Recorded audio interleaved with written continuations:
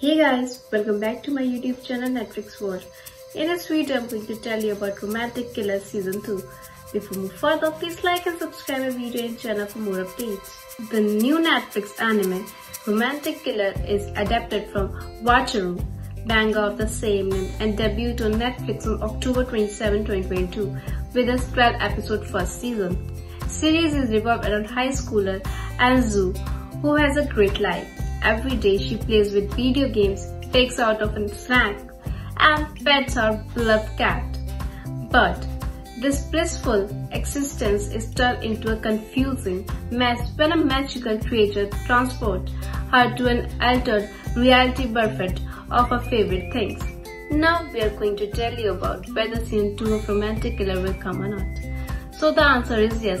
After seeing this much response, Netflix and its maker are planning to renew this show with one more season, more adventure and more excitement. Are you excited for the next season? As per the reports, maker will start working soon on the next season.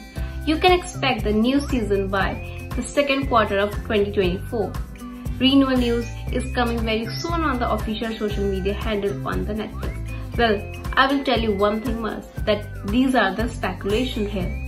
A second season would be likely to carry on directly from the end of the first season, with Anzu trying to navigate her relationship with the boy while dealing with a much higher stake imposed on by her Riri returns. Let me know what you think about this series renewal in the comment box.